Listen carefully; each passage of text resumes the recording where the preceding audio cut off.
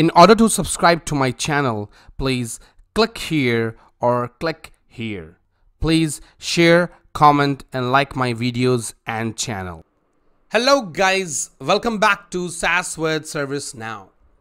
This is part of ServiceNow 4 minutes video for developers. This is the next lesson of series of REST integration in ServiceNow. In this lesson, you will learn how to create an outbound REST message record in ServiceNow. Now, this is my personal developer instance.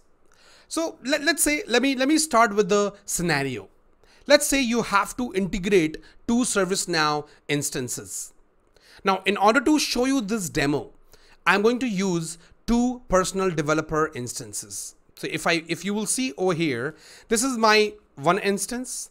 And if I go to here, now this is my second instance.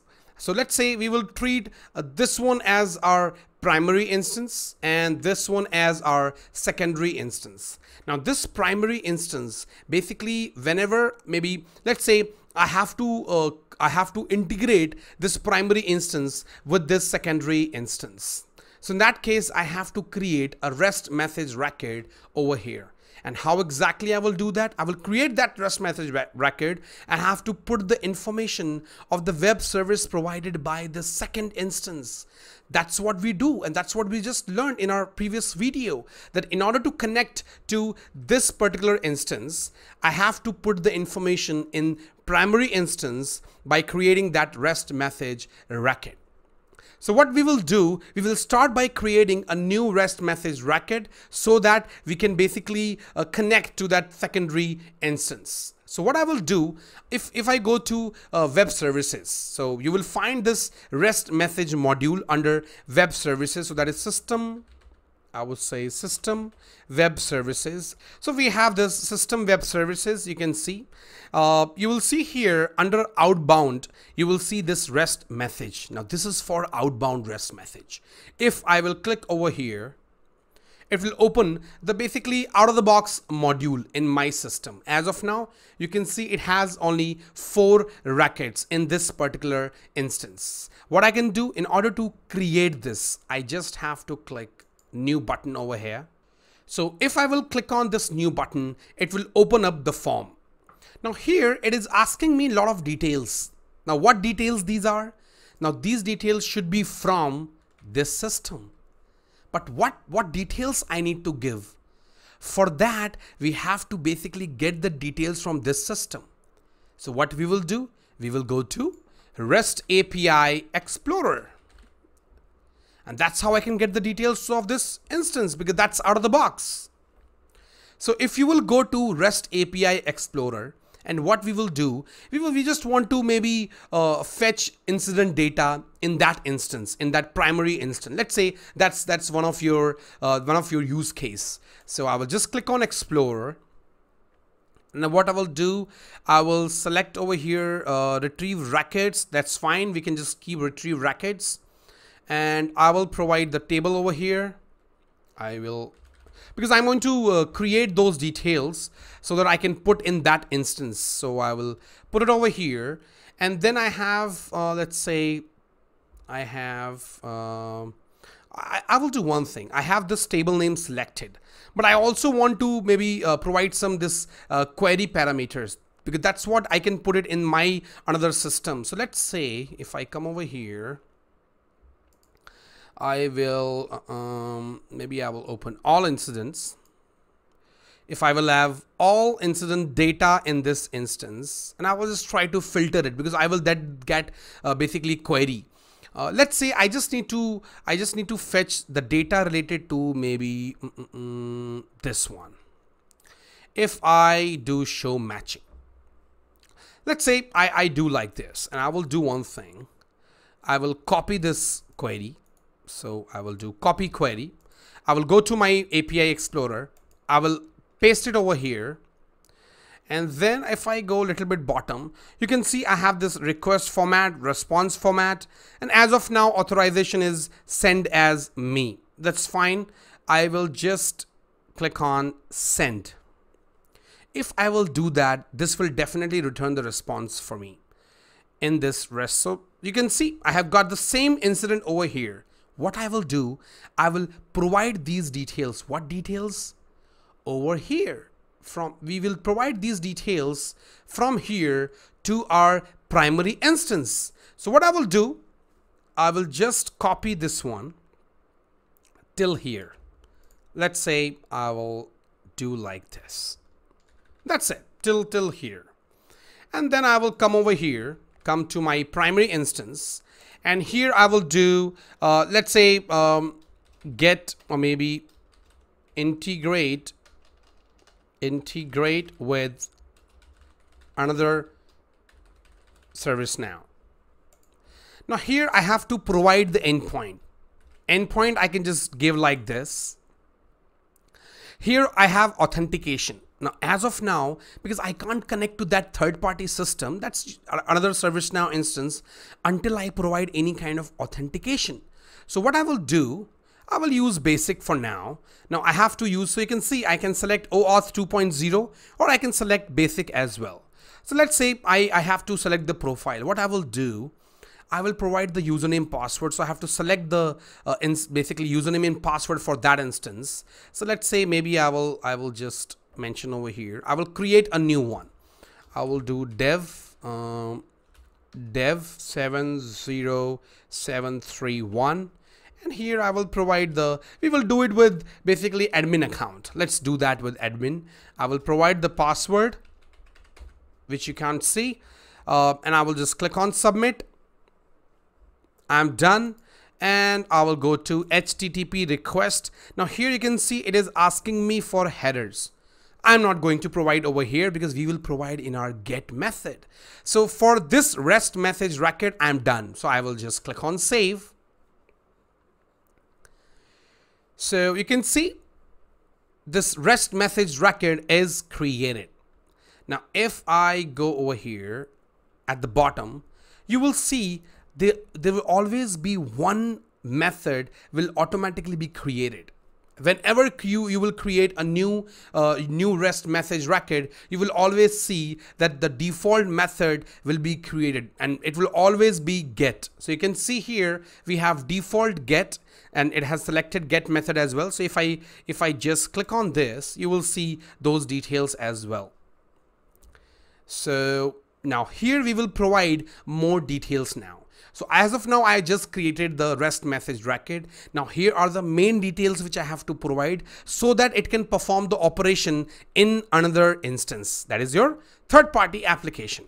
So in that case, I will select in authentication, I can just select this inherit from parent if you want another you can also select that it's totally up to you as per your requirement or it's up to the uh, developer administrator how you want to configure it so in that case i will maybe here we will go to http request uh, our url will be still still be the same because that's what we have it for get and if i go to http headers now what headers i can put over here if i go to my another application here in this is you can see headers and that's a, I would say uh, that's a great functionality provided by ServiceNow. It's very easy as a developer. You don't have to look uh, things from scratch. It automatically giving you on your plate ready. I think it has already cooked it and giving you giving you on your plate. So you can see we have these headers. I have to add these headers over there. So let's say I will do accept and if I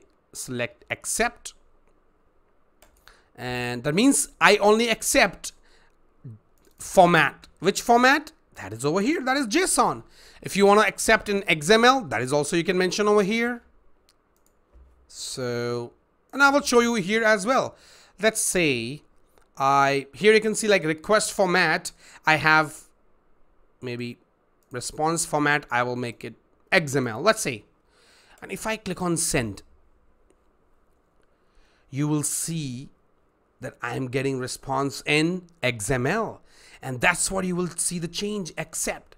So that means I will accept the response in XML. That's the reason. And what type of data I want to send it to you? I want to I will send it to you in JSON. And that's what you can mention over here. But this is get and it's it basically here you don't have to put any kind of request body. So even if you don't mention uh, content type, I think it won't matter. So what I will do I will just mention accept and I will go here. So here we have application uh, slash JSON and this is done for headers. We are done.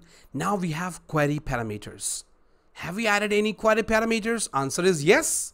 The query parameters we have starts from here. The first one is, let's copy this, put it over here. You have to put the value and that value is like this. I will put it like this. Then I will also select this limit. I can do like this. And I, let's say I will just put 1 even if you will put 10 it won't matter because as of now only 10 uh, one racket will be uh, returned. So you can see I have mentioned 10 now I can just click on save. So if I click on save our get method is ready so I don't have to put any other detail. Here you can see variable substitution, but we don't have to use it right now. This is for dynamic data. And in our, in our uh, I would say further le lessons, like subsequent lessons, you will see that I will be using it because I will be integrating properly end to end with some other application that I have planned for uh, YouTube integration as well. So in, in uh, next sessions, you will see uh, integration with YouTube as well. So here I will not use this, but what I will do because this lesson is specifically that how you create a REST message record. So what I will do quickly, I will do a test. So as of now, I have given the parameters, as I, ha I have given the headers, I have given the authentication details. Now I will click on test. Now this test is basically to use whether you are able to get the data or not. If you will click on test, you will see the results, absolutely. Did you see that? Test is successful. How did we come to know that this is successful? The reason behind it, we got this 200 status. Now this code will always identify whether the connection was made successful or not or whether the operation you want to do whether it was successful or not. This will also define the error so you might go get some different uh, different other uh, codes as well status like 401 maybe those codes that means there is an error in the system. Now uh, basically if I talk about these uh, web services code HTTP codes you have different codes for different errors. For example, 401 not connected. You have 500 uh, error. It's like internal server error and there are other as well. But if I talk about 200 and 201, that means 200 says that, hey, I was able to connect that application. And 201 says that, hey, I was able to create the record in that another application. That's what you basically, you will be able to identify. Here you can see I'm getting the data in JSON. And this is the same incident. It's not any other incident. It's the same uh, zero, uh, the one, um, let me, let me check as well. If I quickly check, you can see this is the same instance and if I search for number, let me search for number quickly. Absolutely, you can see this is 002 over here. If I come over here, this is again 002. That, that's how you create a REST message. I will still do one thing just to show you another type of test. If I come over here and I basically change this HTTP request parameter. So here, now headers, not parameter. In headers, if I change this to XML, what will happen? You will see the magic. If I click on save, and this time I click on test, the result, the response will be totally different. So if I click on test, so now you will see the response is in XML format. So basically here it says the default get, here the status, here the endpoint which you are hitting, here the parameters which you are sending, here the content what content you are sending to that third party system. As of now, it just gets, so I'm not sending any content. And here we have response that what response you're getting after hitting that system, what response. So see, this is another instance and this is that this is again different instance, but I'm able to get the racket, the details of another system into this system. And that's what integration is all about. So this is how you create REST message record in ServiceNow.